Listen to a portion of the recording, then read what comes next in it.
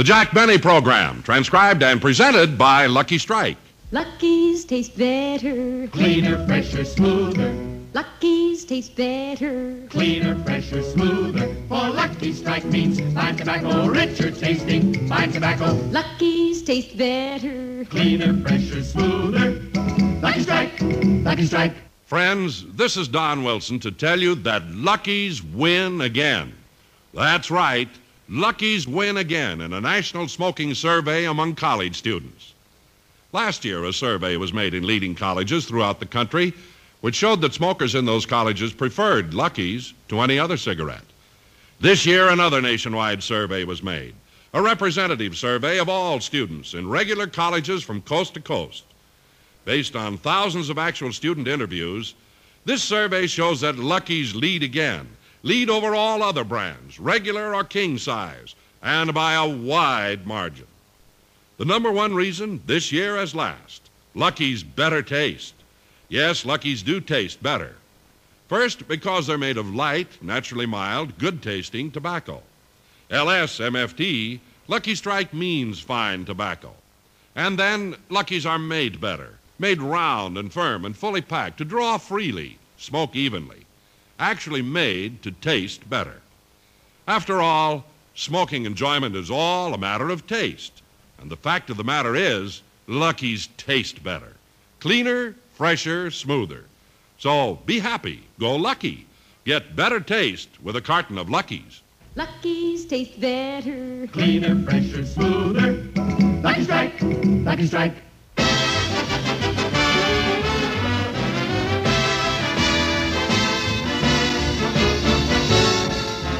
Strike program starring Jack Benny with Mary Livingstone, Rochester, Dennis Day, Bob Crosby, and yours truly, Don.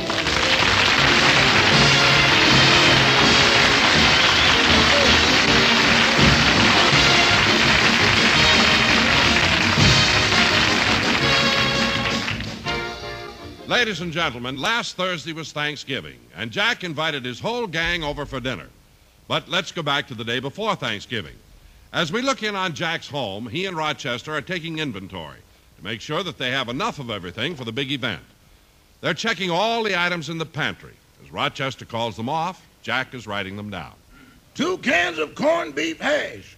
Two cans of corned beef hash. Three cans of cranberry sauce. Three cans of cranberry sauce. Two bottles of A1 sauce.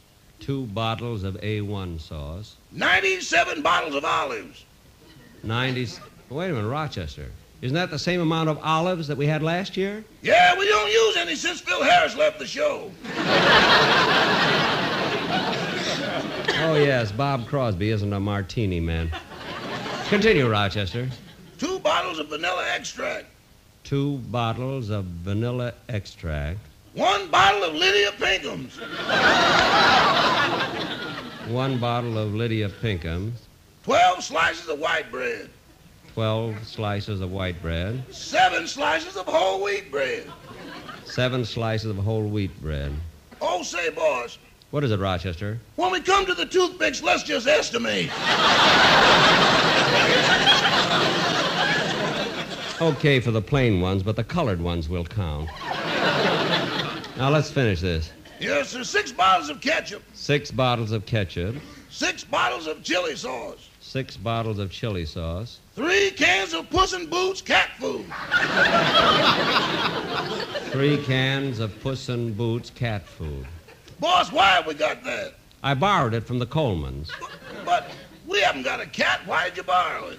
Well, they were out of butter, and I didn't want to leave empty handed.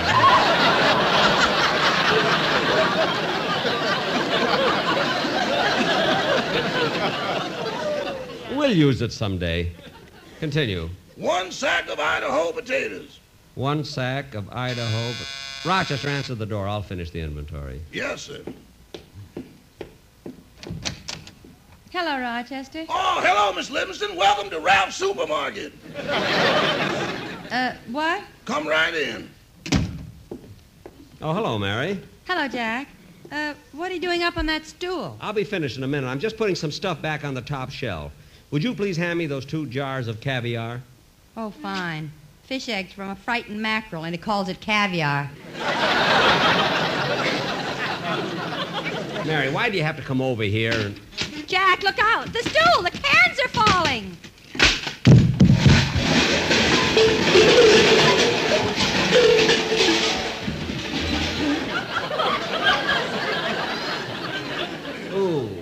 Jack, are you hurt? No, no, I'm all right. What are you laughing at? With those fish eggs in your ear, you look like you're going upstream to spawn. Upstream to spawn, upstream to spawn. A man nearly kills himself, and you talk about romance.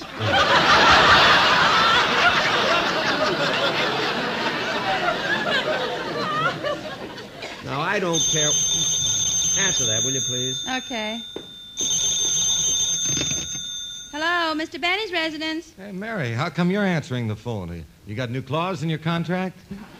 No, Bob. Jack would have answered it, but he can't.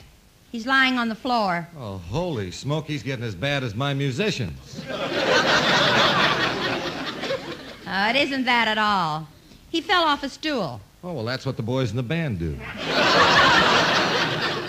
Look, Bob, it's kind of hard to explain, but he fell while checking some stuff in the pantry. The pantry? Yeah, he's making sure he's enough of everything for his big Thanksgiving dinner. You're coming, aren't you? Oh, sure, I bought my ticket two weeks ago.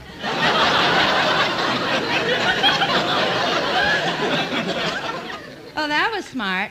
There's no sense waiting till the last minute when the scalpers get hold of them. uh, just a minute, Bob. I'll let you talk to Jack. Jack, it's Bob Crosby. I'll take it. Hello, Bob. Say, Jack, I wonder if you could give me a couple of extra tickets to next week's broadcast. Well, I might be able to scrape up two. Who are they for? Well, to tell you the truth, they're for Remley, but he was afraid to ask you. Well, he should be after what happened last time. He gave that ticket to his girl, and she almost started a riot in the studio. Imagine her walking up and down the aisle doing a thing like that. Oh, but that wasn't her fault, Jack. The band never should have played A Pretty Girl is Like a Melody. All right, but where did she get the balloons? where did she get the balloons? Where'd you get the pin? Never mind. All right, Bob, I'll give you the tickets at rehearsal. Thank you, Jack. Goodbye. Goodbye. Bob always has to call me when I'm busy. Oh, Rochester, What is it, boss? I knocked over all these cans when I fell off the stool. Will you pick them up while I go on with the inventory? Yes, sir. Mary, will you please help me? I'll call off the items and you write them down. Oh, sure, Jack. Five bottles of vinegar, Five bottles of vinegar, three bottles of real lemon juice, three bottles of real lemon juice, 4,500 cans of Minute Maid orange juice, 4,500 cans of Minute Maid orange juice. Wasn't that a wonderful guest spot I did on Bing's program?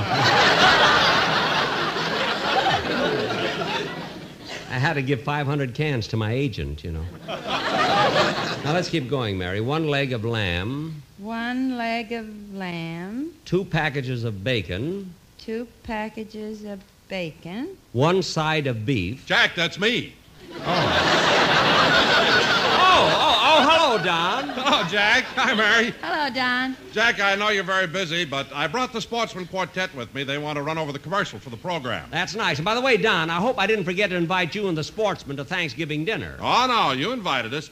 Jack, I feel awfully popular this year. Popular? Yeah, beside your invitation, I've been invited to Harry Von Zell's house, Dinah Shore's house, and Jimmy Wallington's house for Thanksgiving dinner, too. Which one are you going to? All of them. Oh, silly me.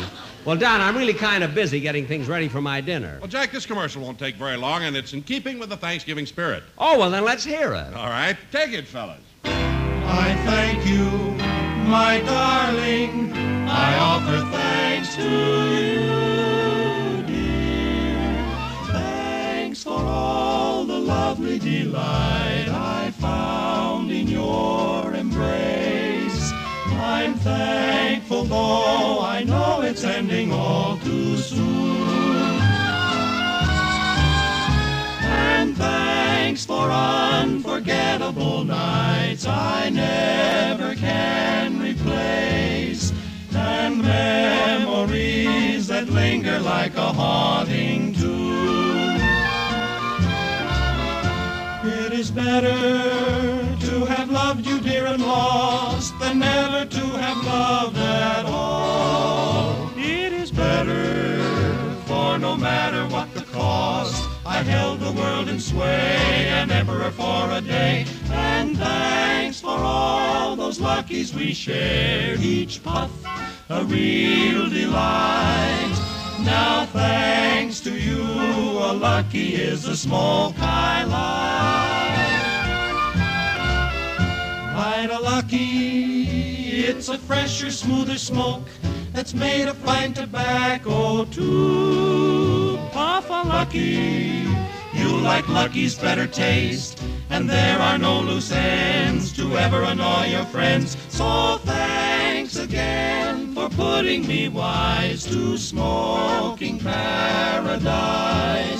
For changing me to LSMFT, my thanks. I really thank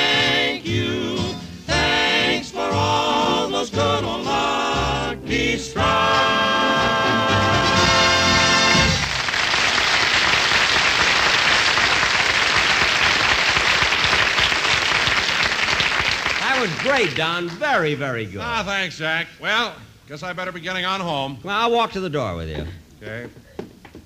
Say, Don, I've been wanting to ask you something for a long time. What is it, Jack? Well, even though the sportsmen have been with me five years now, I never did find out how they formed their group. Funny, I've never asked you about that. That's quite an interesting story, Jack. It started up in Las Vegas. You see? Las see. Vegas? Yeah. Two of the boys were singing as a duet in the Flamingo, and two of them were singing as a duet at the Sahara.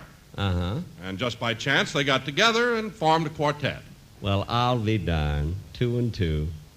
They made four the hard way. didn't they? well, so long, Don. See you and the boys Thursday. So. Well, I better go back and finish the inventory. Say, Mary, Uh, just a minute, Jack. Go ahead, Rochester. Twelve cans of crushed pineapple. Twelve cans of crushed pineapple. Nineteen cans of condensed milk. Nineteen cans of condensed milk. 2,456 cans. Cans? Cans of what? Just cans, Mr. Benny. Don't throw nothing away. Certainly not. I, I, I paint them and hang them on Christmas trees. Now, Mary, I can finish this up with Rochester, so. Shall I answer it, boss? No, don't bother getting down from the stool. I'll answer it. I had to get this inventory finished before we. Oh, Mr. Benny, I just came over to ask you if Oh, you hello, would... Dennis. Hello. Mr. Benny, I just come over to ask you if you How do you feel, kid? Fine. Mr. Benny, I just come over to ask you if you Close would... the door, will you, Dennis? Okay. Now, Dennis, what did you. Dennis, how do you like that? He locked himself out.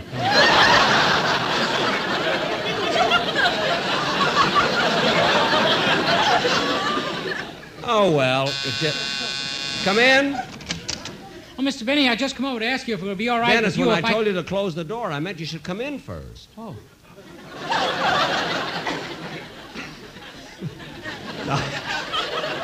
Uh, what did you want to ask me? If I could use your phone, our house is on fire.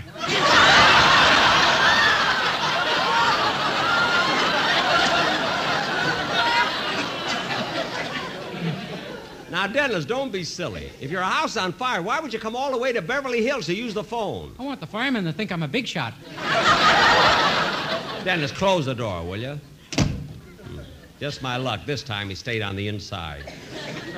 Now, look, kid, I'm busy, so don't bother me with all these silly things you make up. Come on, Mary, let's finish this inventory. Okay.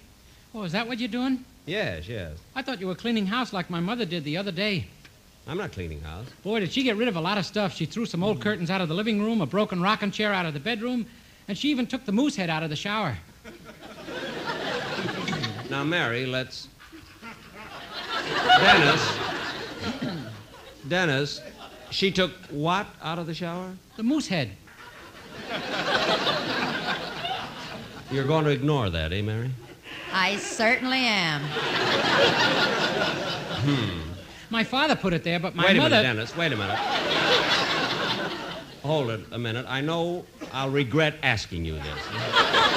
But why would your father put a moose head in the shower? The other end would look silly.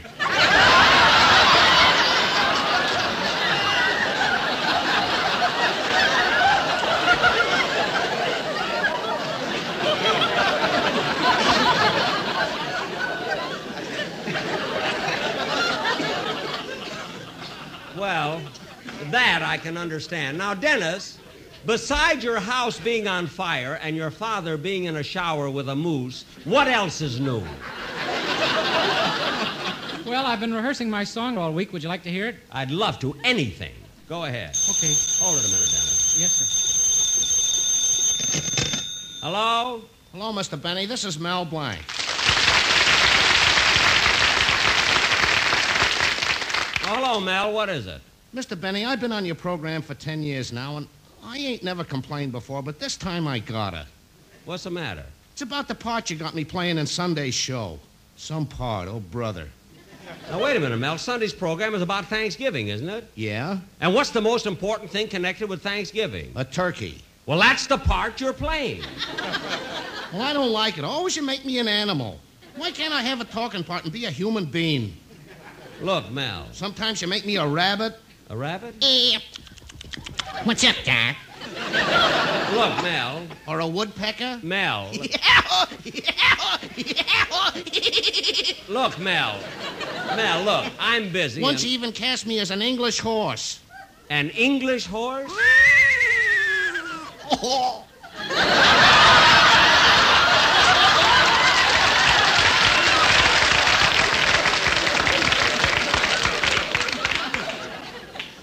Mel, I'm sorry, just that you have to play the parts that are needed. You may not realize it, Mr. Benny, but I'm pretty important to you. Important? Yeah, if it wasn't for me, you'd never get any place. What are you talking about? I wouldn't get any place. Every time you start that lousy Maxwell, I almost break a blood vessel going.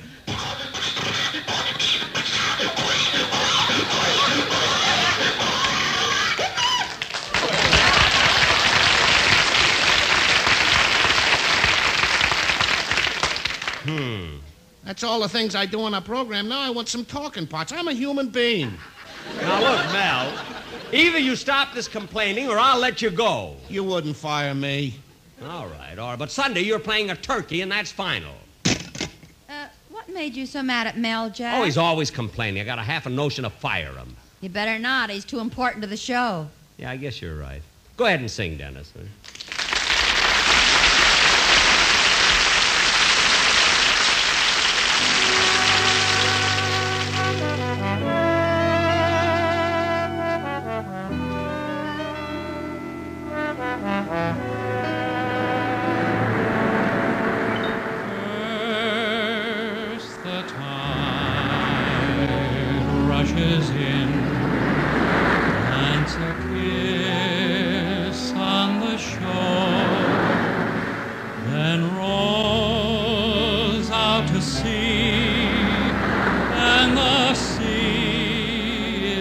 very still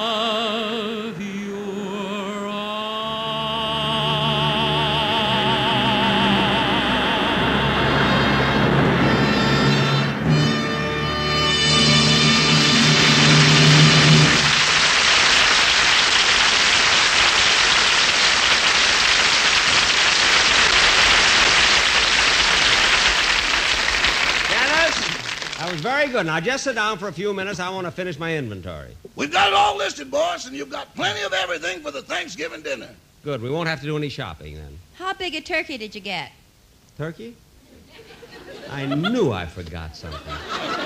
You mean you forgot to buy the turkey? Yeah, but there's still plenty of time. Well, don't wait till the last minute. You ought to go and get one right now. Well, will you go with me, Mary? Sure, let's go. I'll stay here. Good, good. Gee, Mary, we're having sure having a break in the weather lately. It's such a lovely day, you know? Yes, we usually do have good weather around Thanksgiving. Yeah. Oh, Mary, look over there at those boys playing football. Hey, Joey, kick it to me now. They're nice kids, Mary. They're in my Beverly Hills Beavers Club, you know? The bigger one is Stevie Kent. His folks live on the corner. Every time I go for a walk, I stop and talk with him. Hey, Stevie! Throw the ball over here! Huh? Oh, Mr. Benny. Here it comes. Look out. I think it's too high. You'll have to run for it. Faster. You better jump for it. Wow. What a catch. Say, that was a good catch, Mary. How'd you do it?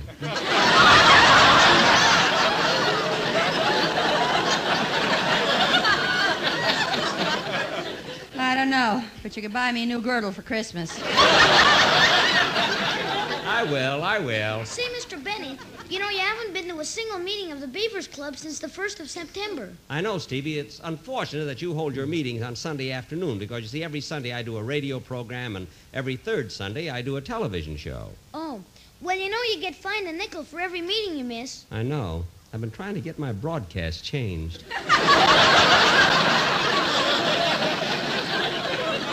well, we'll talk about it later. Come on, Mary. We better get down to the market.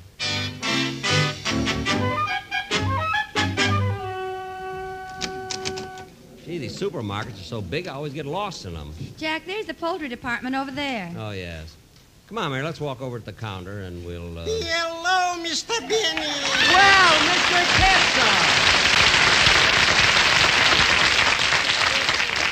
Mr. Kitzel, what are you doing working in the poultry department? Well, I got the job on account of my uncle. Oh, he owns the market? No, I owe him money. Oh, well, look, Mr. Kitzel, I want to buy a turkey. Are they very expensive? You mean they're that high? Come here a minute. Huh? Step closer. Do you know what turkeys are selling for today? No. Come a little closer.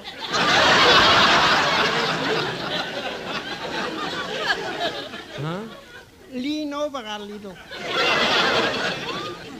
What? 63 cents a pound. Well, why did you have to bring me over there? I don't want the turkeys to get conceited. Gee, 63 cents a pound. That's a lot of money for turkeys. Say, they got to live too. I suppose so. Say, Mary, look at those turkeys lying there, so cold and still. Just think, a few days ago they were happy, carefree, and gay. And now they're 63 cents. I mean, now they're dead. Mr. Kitzel, how old were these turkeys when they were killed? About eight months. Hmm. Didn't even have a chance to live.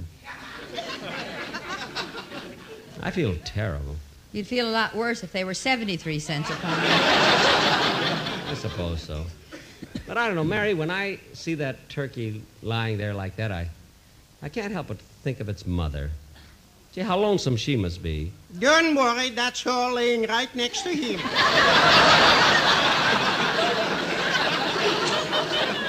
Oh. Um, say, Jack, while you're getting the turkey, I better shop around and get some things for the stuffing. I think I have everything at home, Mary. Uh, what about cracker crumbs? Plenty. Stale bread? Two loaves. Oysters? One can. Sage? 39. What? Oh, oh, I thought. I thought you said age. I, mean, I thought. yes, we have everything. Uh, Well, Mr. Benny, what's your pleasure if I can be so pleasant? well, I'd like to get a live turkey, about 25 pounds. Live turkeys are over there, down by the end of the counter. Oh, yes, yes. I think I'll take that one on the right. It looks nice and plump. Put on your glasses, that's my wife.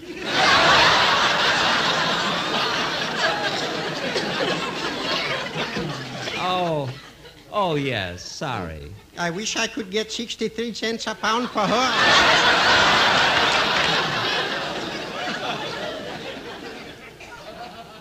What? Nothing, I'm daydreaming. Now, Mr. Kitzel, what would you suggest? Well, if you want a nice live turkey, how's about this one over here? Say, Jack, this one's nice and plump. Oh, I've seen turkeys look plump, but they, they were all feathers. I'm going to feel this one myself. Hold still, turkey.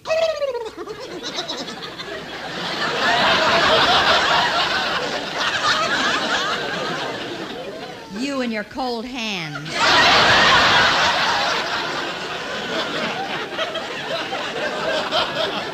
Well, how much does this turkey weigh? About 160 pounds. I thought so. Why does this turkey weigh so much? He's also an English horse.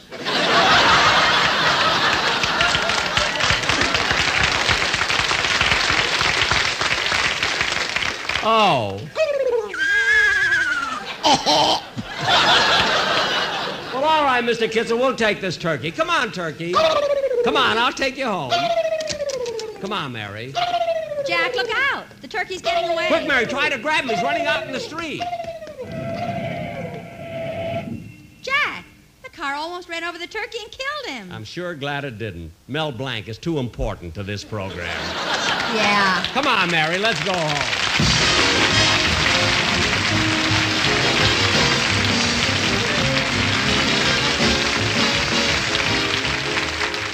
Jack will be back in just a minute, but first a word to cigarette smokers. Lucky's taste better. Cleaner, fresher, smoother.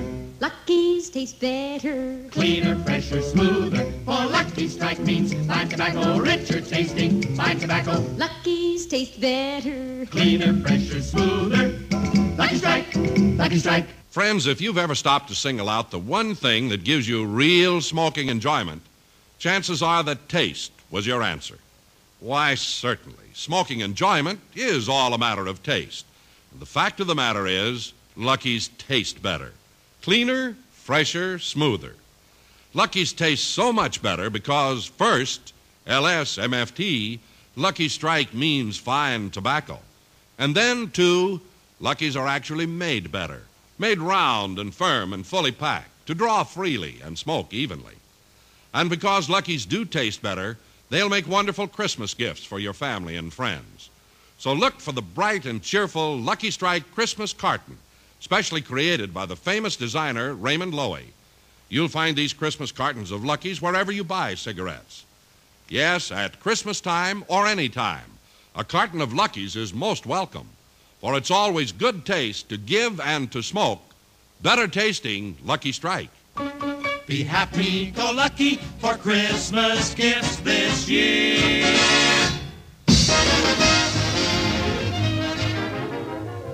Well, Rochester, the gang will be over this evening for Thanksgiving dinner. Is everything ready? Yes, sir. Then put the turkey in the oven. But, boss, Do as I say. Put the turkey in the oven. but, boss, Rochester, I'm telling you to put the turkey in the oven. Now, wait a minute. This has gone far enough. After all, I'm a human being.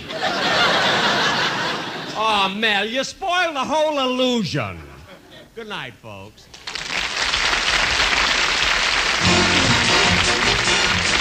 The Jack Benny program is written by Sam Perrin, Milt Josephsberg, George Balzer, John Tackaberry, Al Gordon, Hal Goldman, and produced and transcribed by Hilliard Marks. Be sure to hear The American Way with Horace Heidt for Lucky Strike every Thursday over this same station. Consult your newspaper for the time. The Jack Benny